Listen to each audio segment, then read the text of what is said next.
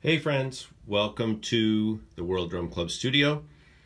I'm going to be setting up to do some recording and I just wanted to share a new purchase with you. So I have the, the Space Drum Atlantico handpan here I'm going to set up and what am I going to use to record it?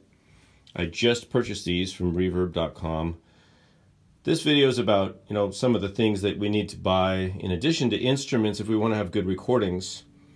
And um, so what these are, this I bought so I can have a stereo pair. So this is a matched pair of microphones.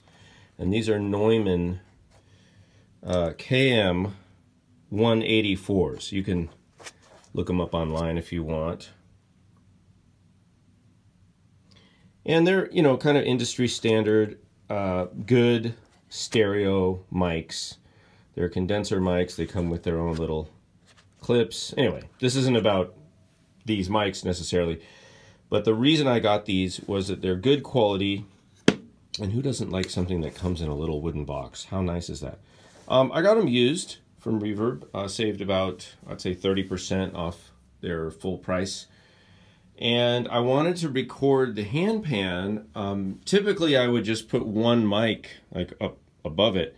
But I wanted to, for this recording, get a deeper sounding experience. And really the only way to do that is to record in two channel or what we call stereo.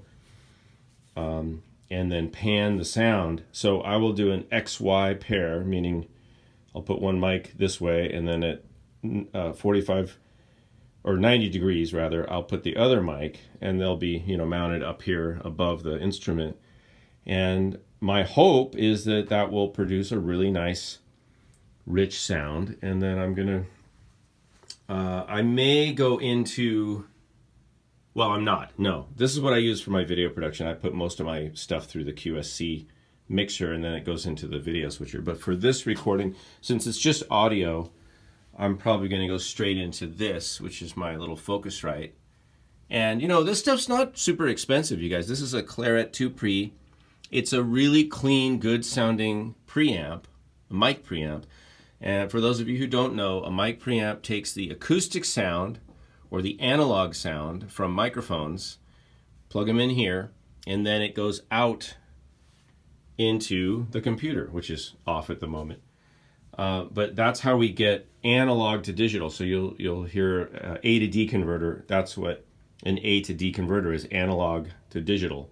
So we go from the sound into the mics, into the mic preamp, which also powers the mics, converts it to digital signal, goes over into the computer and we can record. So I'll um, keep you guys posted on that progress. And the other thing is I'm doing this for a project proposal uh, for two different clients who want to hear some music.